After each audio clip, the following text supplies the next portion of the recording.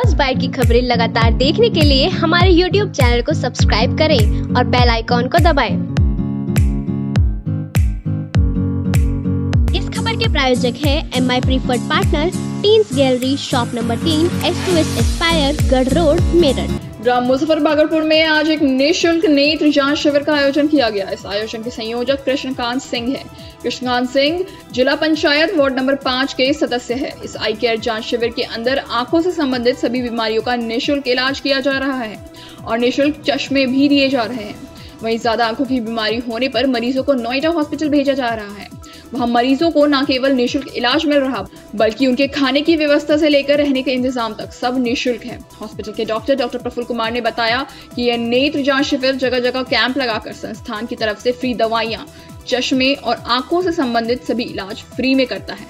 ये आँखों का जो कैंप लगाया जा रहा है किस संस्था की तरफ़ से लगाया जा रहा है? ये डीएस ग्रुप की तरफ़ से लगाया जा रहा है। हाँ। तो इसमें वही मोतियाबिंद के जो लोग होते हैं गाँव गाँव दूर में अच्छा। जिन तक सुविधाएँ नहीं पहुँच पाती हैं उन लोगों की हेल्प के लिए डीएस ग्रुप की तरफ़ से कैंप लगाया गया है। तो इसमें सभी इलाज जो है मतलब निःशुल्क कर रहे हैं आप? इसमें मोतियाबिंद का रहेगा वो निःशुल्क रहेगा जो पेशेंट जाएँगे यहाँ से उनका खाना पीना रहना सारा निःशुल्क होगा। अच्छा। और उनको वापस गाड़ी यहीं से लेके जाएगी और वापस यहीं पे कहाँ दिल्ली लेकर जाएँगे आप? हाँ जी दिल्ली नोएडा में है सेक्टर छब्बीस में आई केयर आई हॉस्पिटल उसमें इनका इलाज किया जाएगा।